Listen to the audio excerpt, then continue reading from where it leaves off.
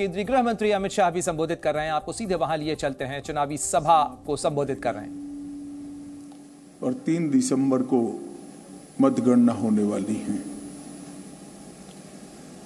मैं विगत छह महीनों से राजस्थान में संगठनात्मक और चुनावी काम के लिए मेरा दौरा हुआ है।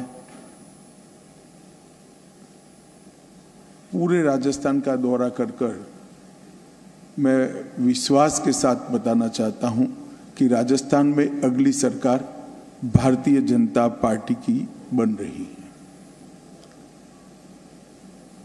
पूरी राजस्थान के हर कोने में जनता ने परिवर्तन का मूड बनाया हुआ है और हर क्षेत्र में विफल और नाकाम कांग्रेस सरकार को विदाई देने के लिए राजस्थान के लोगों ने अपना मन बना लिया है। भारतीय जनता पार्टी की परिवर्तन संकल्प यात्रा लगभग 9000 किलोमीटर चली। हर गाँव दाणी में हमने लोगों का संपर्क करने का प्रयास किया। 200 विधानसभाओं तक पहुँचे। और करीब करीब हमारे चुनाव अभियान में कल रात तक अंदाजन एक करोड़ से ज़्यादा मतदाताओं का संपर्क भारतीय जनता पार्टी के नेताओं और कार्यकर्ताओं के द्वारा किया जा रहा है। राजस्थान ने हमेशा मोदी जी के साथ खड़ा रहकर भारतीय जनता पार्टी का समर्थन किया है।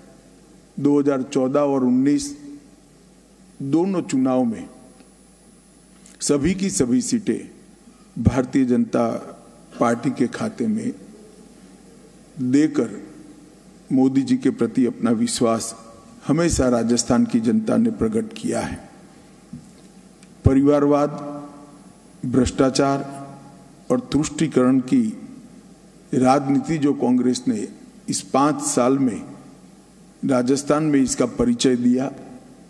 इससे राजस्थान की जनता बहुत त्रस्त है और उसके सामने भारतीय जनता पार्टी की नरेंद्र मोदी सरकार ने राजस्थान में करोड़ों लाभार्थियों को केंद्र की योजना का सीधा लाभ पारदर्शी तरीके से पहुँचाया है और केंद्र की दर्जनों योजनाएँ गाँव और गरीब दोनों के फ़ायदे के लिए राजस्थान में सीधा परिणाम देती हुई नज़र आती है।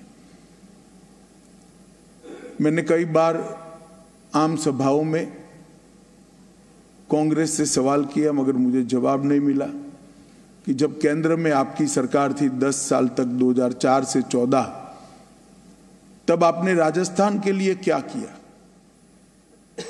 उसका जवाब कांग्रेस पार्टी नहीं देती है। मैं आज इस प्रेस वार्ता के माध्यम से राजस्थान की जनता को बताना चाहता हूँ कि ग्रांट इन एड और डिवेल्यूशन फंड का अगर टोटल करें तो 2004 से 14 तक दो लाख करोड़ रुपया कांग्रेस सरकार ने राजस्थान को दिया था। मतलब 10 साल में दो लाख करोड़ रुपया।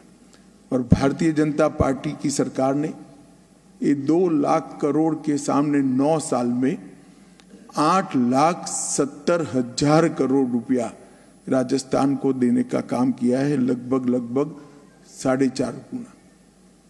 और इसके साथ साथ सात लाख करोड़ के और काम जो केंद्रीय प्रोजेक्ट के रूप में, जैसे नेशनल हाईवेज हैं, रेलवे के रेलवे स्टेशनों का अपग्रेडेशन है, नई रेलवे लाइन बिछानी है छह हज़ार करोड़ के खर्चे से कोटा में नया ग्रीनफील्ड हवाई अड्डा बनाना है। बीकानेर, जैसलमेर और किशनगढ़ हवाई अड्डे शुरू करना हो। बीकानेर में 1000 मेगावाट का सौर पार्क, जैसलमेर में 800 मेगावाट का सौर park, Bhadla solar park phase three three, पाँच हज़ार मेगावाट और लगभग लगभग पाँच करोड़ लोगों को किसान सम्मान निधि नल से जल, आयुष्मान भारत योजना, शौचालय, मुफ़्त अनाज, उज्ज्वला योजना और प्रधानमंत्री आवास योजना के बेनिफिट हमने पहुँचाए हैं। राजस्थान सरकार ने पाँच साल में सबसे खराब स्थिति अगर किसकी रही है तो महिलाओं की रही है, दलितों की रही है। महिलाओं और दलितों पर अत्याचार के ढेर सारे मामले राजस्थान में अब देखने को मिलते हैं। और गहलोत सरकार में तुष्टिकरण की राजनीति चरम सीमा पर। जी न्यूज़।